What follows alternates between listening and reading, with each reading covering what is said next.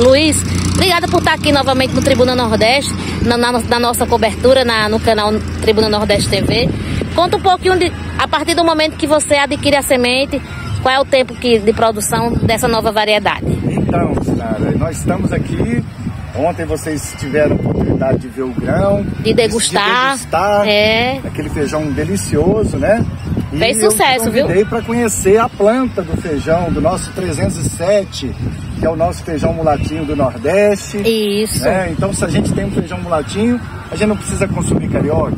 Não. Isso? Agora no então, Nordeste. olha só, essa planta aqui, quando você planta ela, na época certa, quando começa a chover aqui na nossa região, para ela, ela florar, ela vai gastar em torno de 35 a 40 dias no máximo para florar.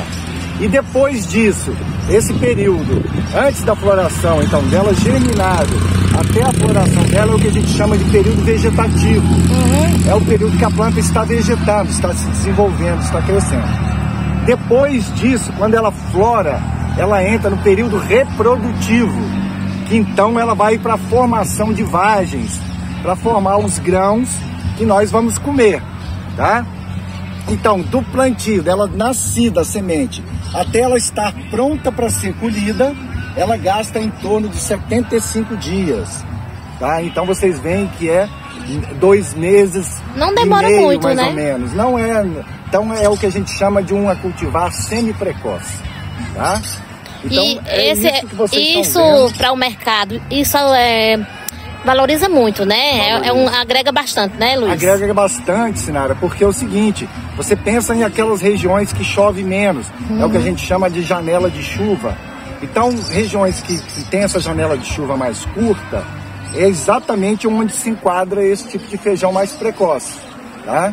Então você tem que plantar para não ter perigo de faltar água no final, quando a planta está precisando para terminar de encher os grãos, uhum. certo? E também não plantar tão cedo para não correr o risco de chover quando o feijão estiver pronto para ser colhido.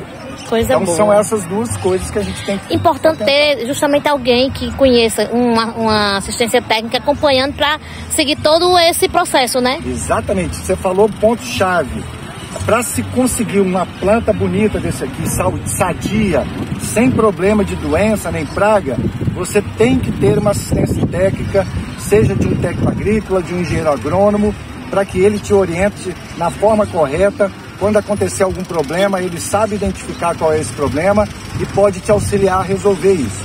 Aí você vai ter uma planta com essa quantidade de vagem aqui, ó, e um, e um rendimento extraordinário, podendo colher até 4 mil quilos por hectare ou 1.300 quilos por tarefa.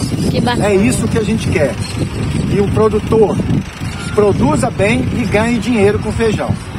E esse é o, é o caminho para esse não só o fortalecimento das novas variedades, mas que o agricultor familiar possa ganhar em qualidade de vida com, com um rendimento bacana, né? Exatamente. Que seja essencial para o, o, grau de trabalho que ele vai ter, né? Que ele trabalha muito, a, a, a agricultura Exatamente. dá um trabalho danado, mas ele tem que ter esse retorno que é justamente nessa parte, né? Então, de ter um bom produto e, e, que, o, que o mercado abrace e agregue, é, agregue dentro de toda essa cadeia, aí né? Todo mundo sai ganhando.